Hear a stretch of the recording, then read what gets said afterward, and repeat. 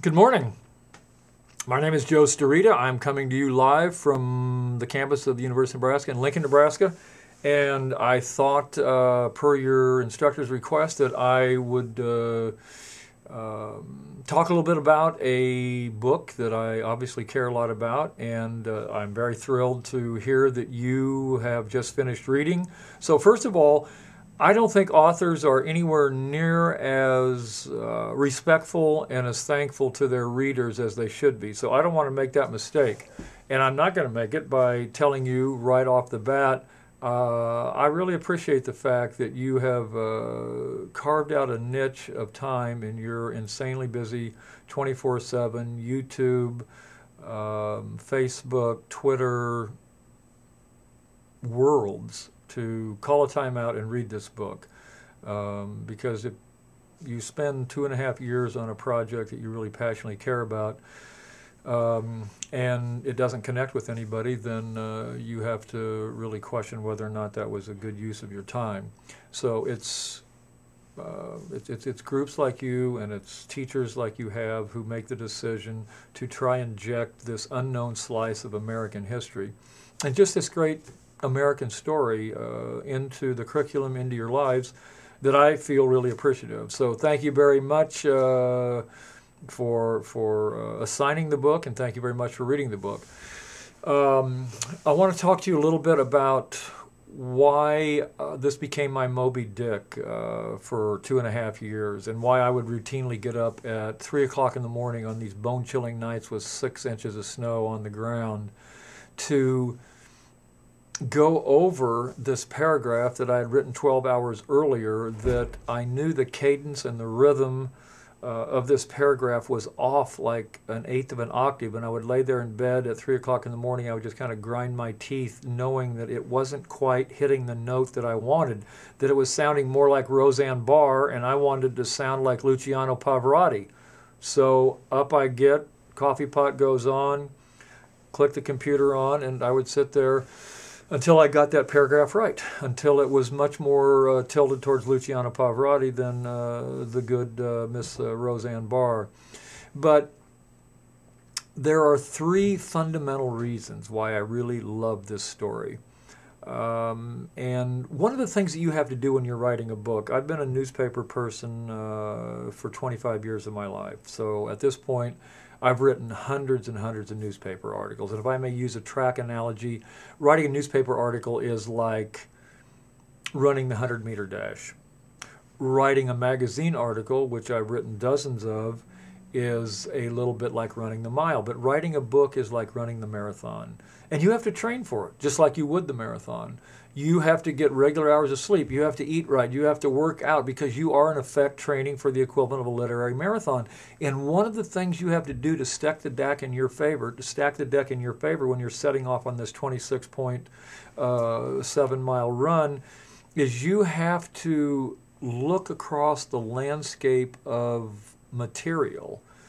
And you have to very vigorously decide when you do that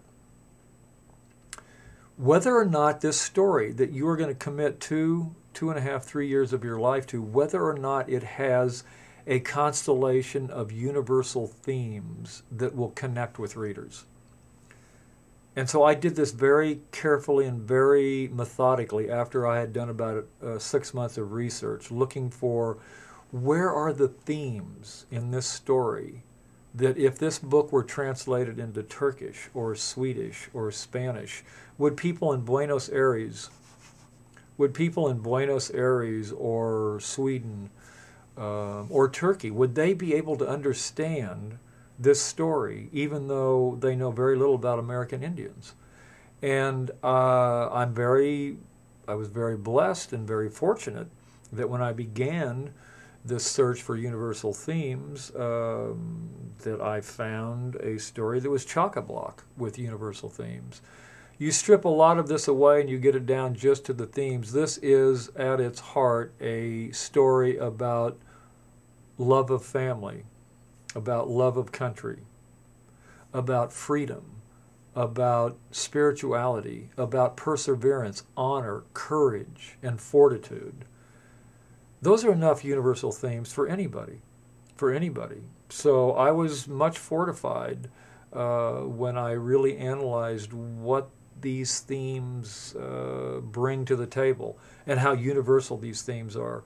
Uh, a very specific example, and one of the things I always like to do as both a lecturer and as a writer is to go from the general to the specific, from the universal to the specific. So if I say this is a story that is chock a block with universal themes and I lay them out, okay, then the next thing you need to do is back that up with a specific example. And a specific example in this book would be the story of White Buffalo Girl.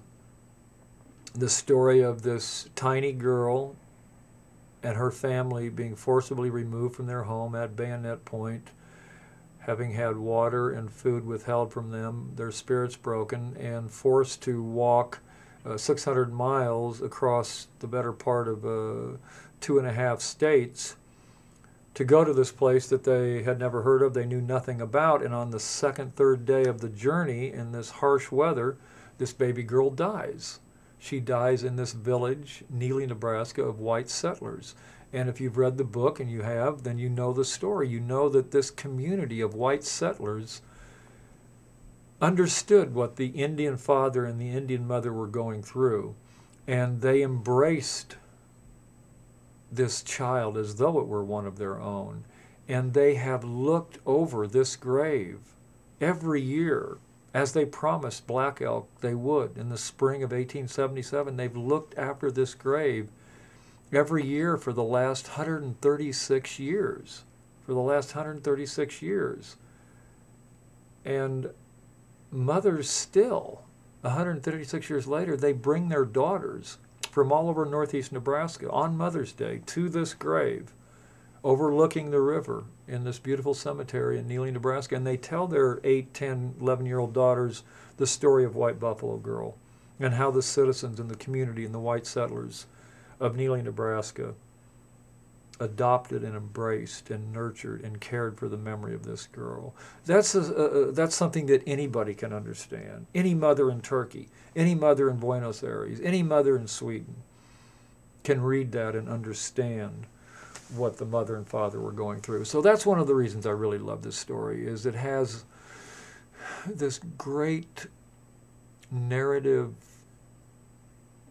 sense of power that comes from storytelling power, that comes from these universal themes that we all can identify with, no matter what our national and religious and ethnic background.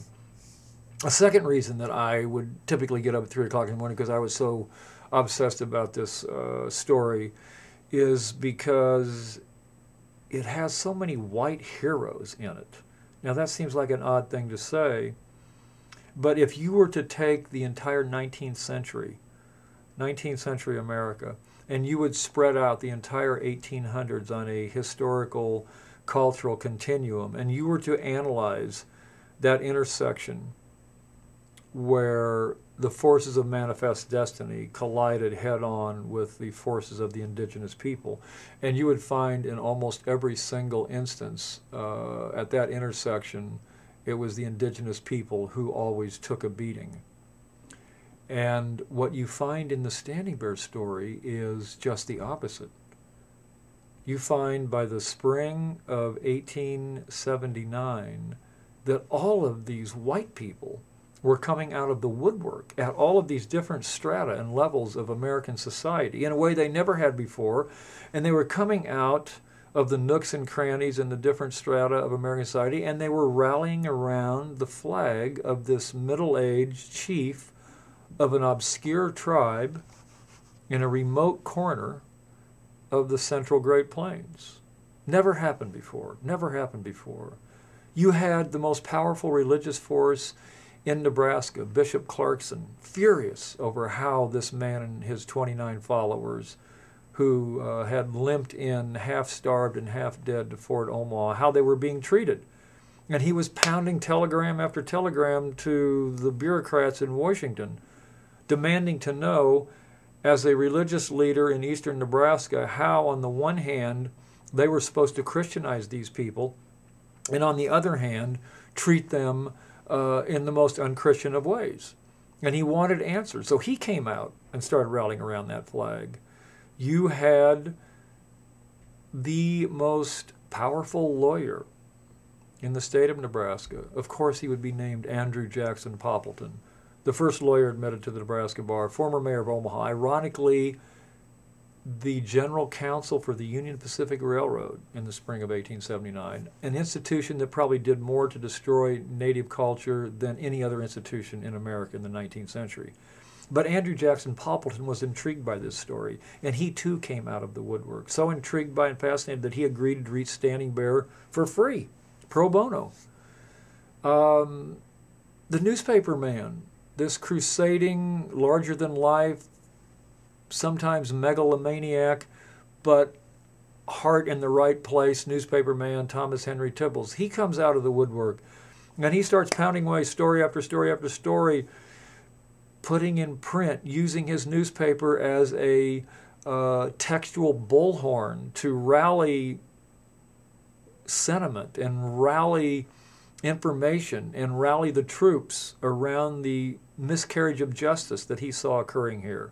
And those stories started out in Omaha, and then they jumped across the Mississippi, and they got to Chicago and Baltimore and Washington and Pittsburgh and Philadelphia and New York, and pretty soon there was a substantial band of American citizens who were outraged at how the government was treating a man who simply wanted to bury his son. And so they began doing what citizens do in a democracy they began contacting their their congressmen and their senators to the point where they began congressional inquiries. The Jewish community in Omaha in the spring of 1879 stepped out of the shadows, stepped out of the back alley, stepped out of the woodwork, and they began hitting up white people for money to use as a defense fund for an American Indian. Do you think that was a routine event in the 19th century? No, no, it only happened once. That was in Omaha in May of 1879, in this case involving Chief Standing Bear versus Brigadier General George Crook.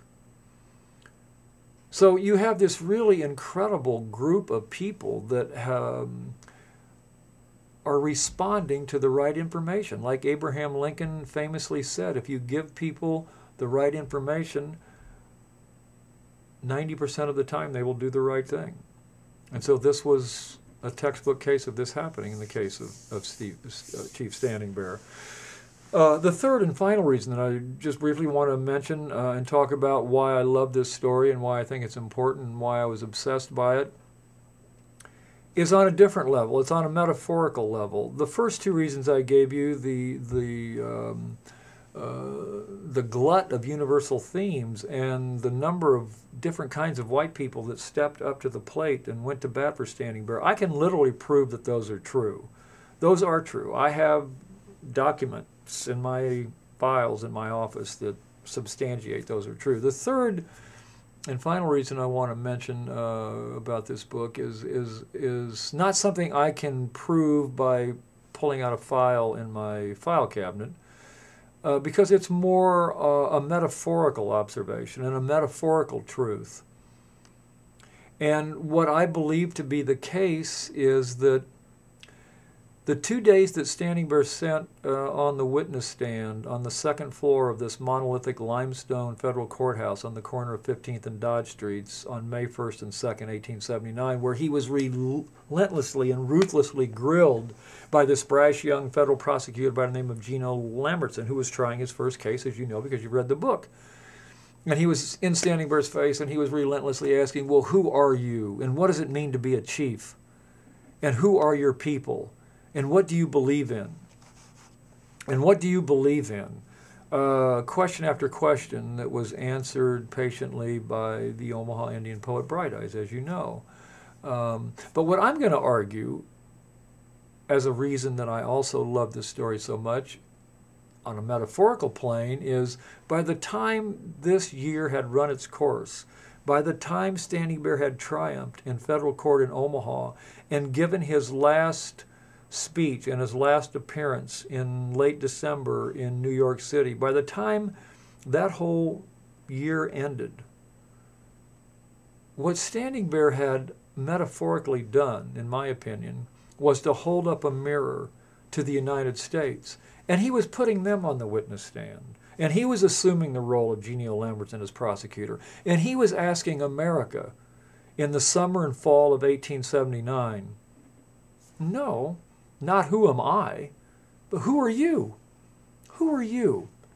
And what does it mean to be an American? And what is this thing you have called democracy? And who is your God? And what does it mean to be a Christian? And is this the behavior of Christians? These are some questions I have, and these are some answers that I would like to hear from you. And so I think in the end, by the time this case ran its course and Standing Bear triumphed in a federal courtroom for the first time in the history of Native America and became, in the eyes of many Native Americans, the Martin Luther King of Native Americans. I think by the time this had run its course, that Standing Bear had done something that is very, very difficult to do. And that is, he enabled Americans to be better than they thought they could be. He um, enabled and allowed Americans to jump over a social justice bar that they had thought was too high to clear. But he inspired them to jump over that social justice bar in a way that they had never envisioned before he came onto the scene. And so, for those three reasons, and others, but for those three reasons for, for now, those are reasons that really underscore my love affair with this story and why I could get up at 3 o'clock in the morning as many times as I did to try and do this man justice and try and do his story justice. So, again, I thank you very much for reading this book. Your instructor has indicated that she was going to send me some of your comments, and I really love hearing back from readers. I am always fascinated by how they interpret things and what their reactions are. So um, I look forward to hearing your comments. I thank you again for indulging uh, your valuable time in reading this book.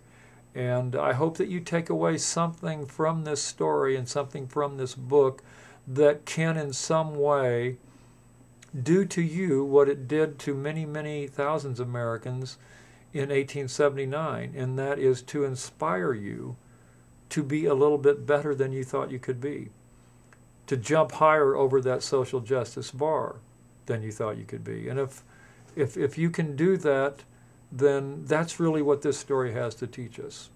That's what this story, that's the takeaway for this story. So again, thank you very much, and uh, I look forward to your comments. So long.